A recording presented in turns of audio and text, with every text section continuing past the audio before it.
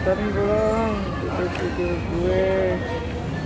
Kalau udah nonton subscribe komen like nya ya. Oke. Okay. hey